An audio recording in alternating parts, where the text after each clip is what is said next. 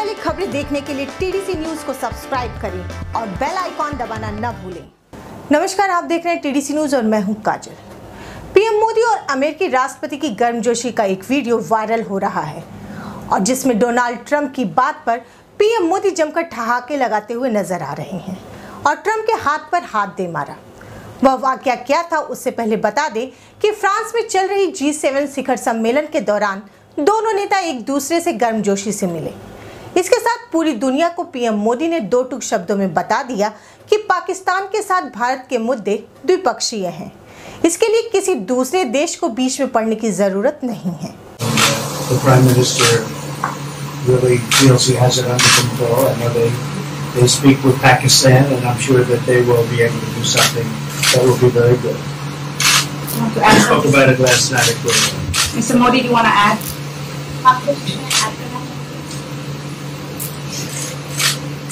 भारत और पाकिस्तान के बीच कई बायोलेटरल इश्यूज़ हैं।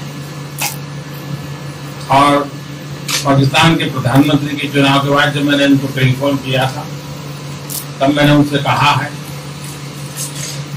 कि पाकिस्तान को भी गरीबी के खिलाफ लड़ना है, भारत को भी गरीबी के खिलाफ लड़ना है, पाकिस्तान को भी अशिक्षा के खिलाफ लड़ना है, भारत को भी अशिक्षा के खिलाफ लड़ना है। पाकिस्तान को भी बीमारी के खिलाफ लड़ना है, भारत को भी बीमारी के खिलाफ लड़ना है।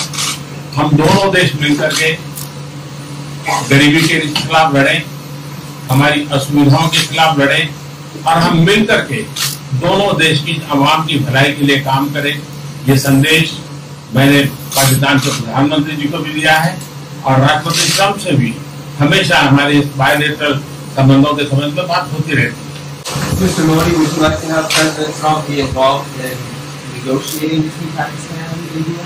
भारत और पाकिस्तान के सारे इश्यूज़ बायोलेटरल है और इसलिए हम दुनिया के किसी भी देश को इनके लिए कष्ट नहीं देते हैं और मुझे विश्वास है कि भारत और पाकिस्तान जो 1947 के पहले एक ही थे हम मिलजुल करके हमारी समस्याओं पर चर्चा भी कर सकते हैं और समाधान भी कर सकते हैं में हुई इस प्रेस कॉन्फ्रेंस के दौरान डोनाल्ड ट्रंप पीएम मोदी के साथ मज़ाक करते हुए नज़र आए। सवाल जवाब के दौरान एक समय ऐसा आया कि पीएम मोदी ने कहा कि आप लोग हमें बात करने दीजिए।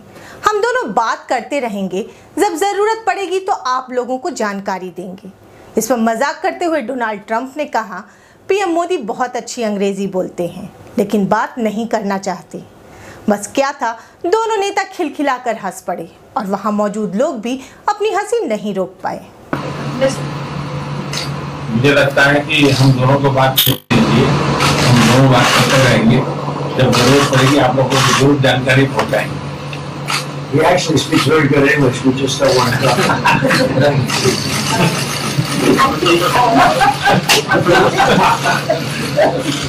think that uh, you should uh, let us uh, discuss these things and when we feel need, we will communicate to you. Mr. Russia uh, has just recently said